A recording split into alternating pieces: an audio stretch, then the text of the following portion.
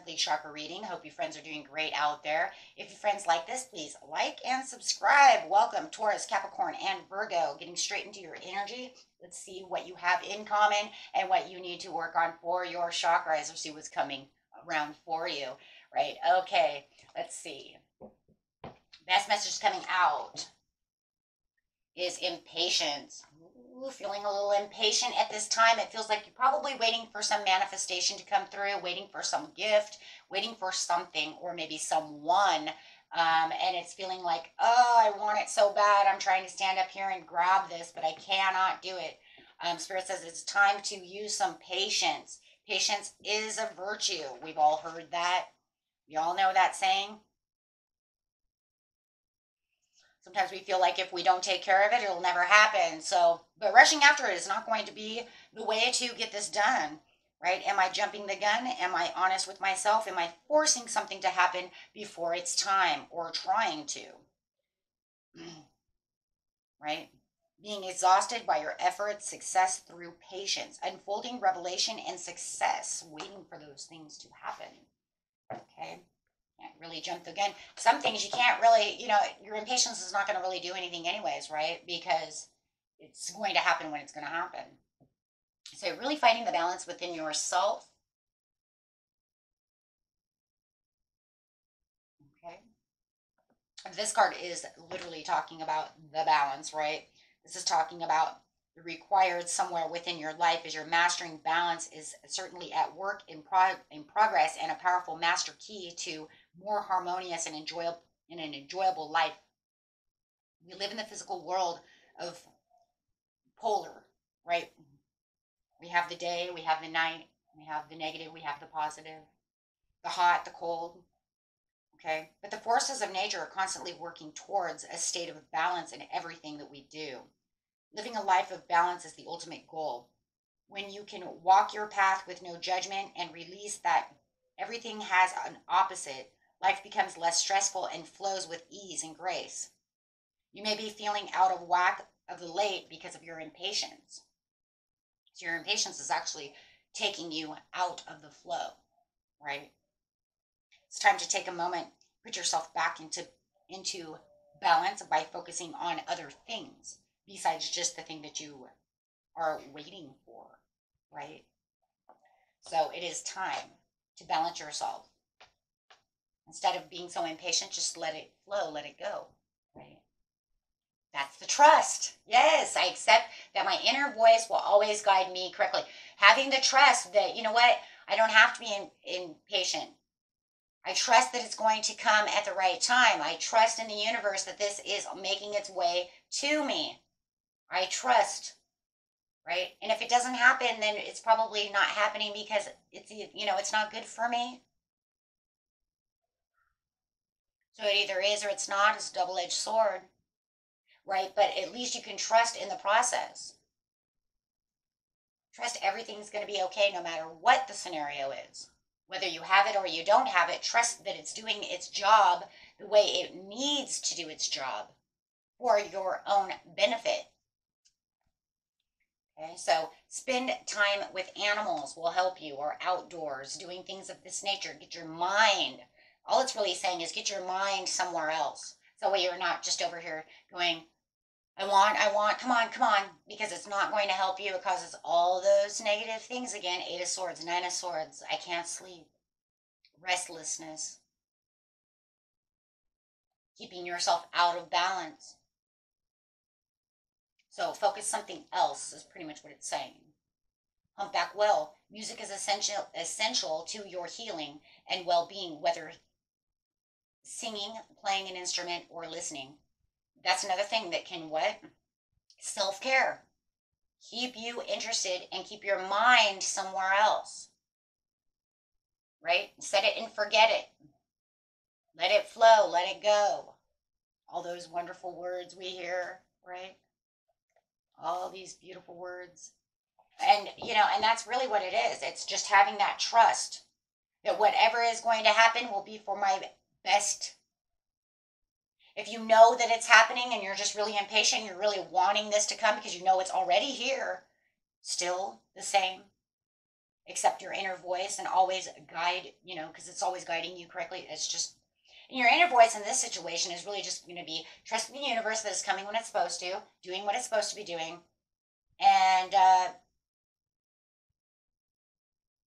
calm.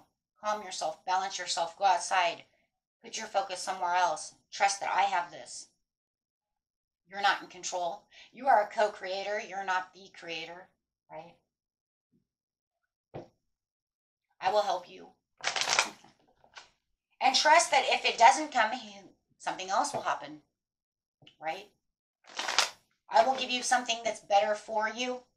I won't give you this, but I'll give you this instead because this is better for you. So trust that no matter what, the universe is always working for you.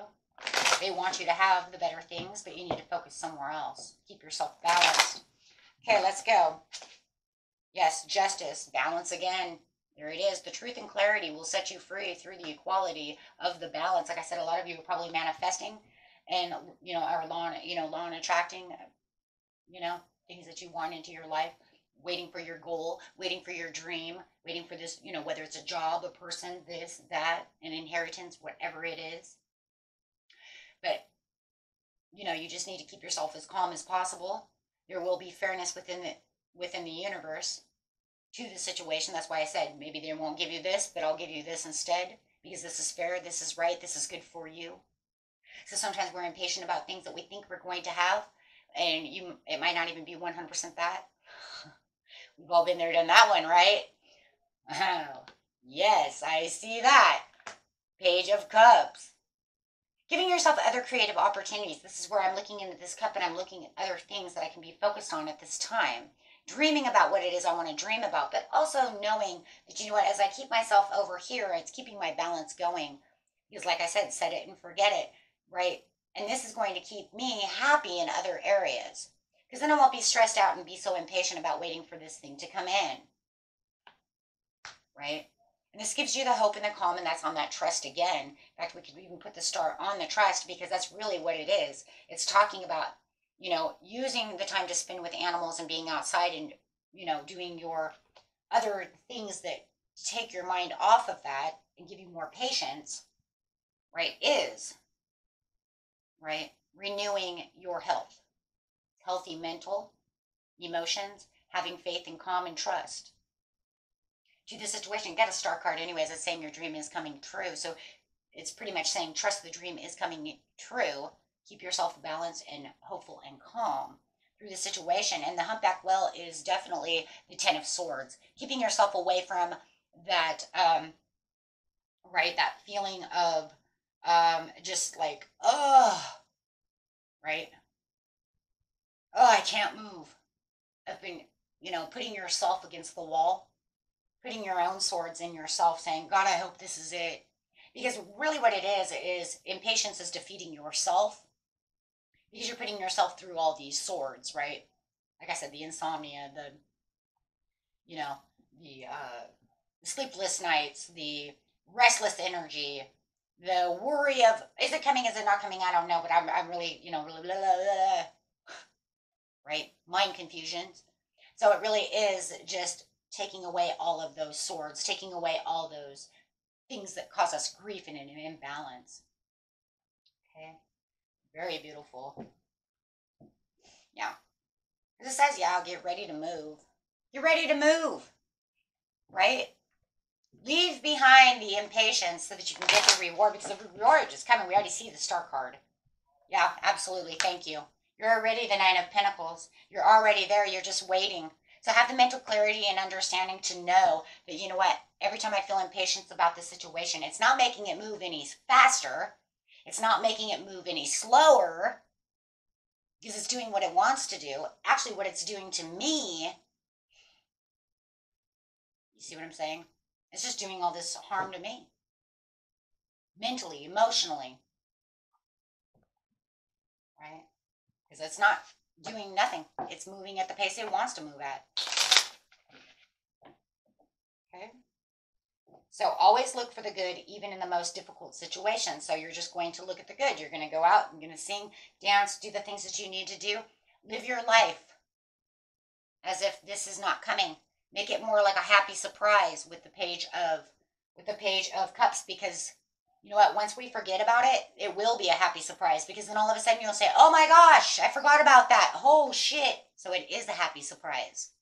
Say, happy, sometimes happy surprises is because we just forget. And that's kind of the best thing and it wants you to do. It just wants you to go live your life, do the things you do while you're waiting for this cherry to come through. Right? So you're waiting for this gift. Learn and grow from the wisdom of your feelings by allowing yourself to befriend rather than deny them. You kind of, yeah, it's like you're befriending yourself by saying, I'm not going to worry. Trust in the divine order. You are being helped. There it is. right there. Like, thank you. There it is. Yeah, it, it shows your wish is coming in. It's just that it's all within the certain timing, and everybody's timing is a little bit different. But like I said, worrying about it is not going to do anything because it might be, you might be impatient and you might be waiting six months for something. Guys, you guys really to sit over here in balance for six months? Worried and stressed out?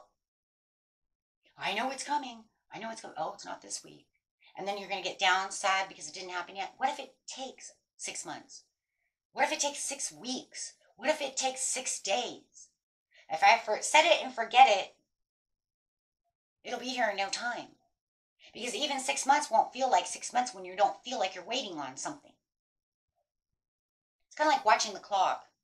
Has ever watched the clock and realized when I'm watching the clock, oh my God, time won't go.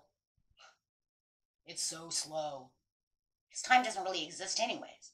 And then sometimes you can turn around and look at the clock and you're like, oh my God, I don't have time for this. Everything's going so fast. But in seriousness, everything's really the same. It's the way you're moving and the way you're thinking.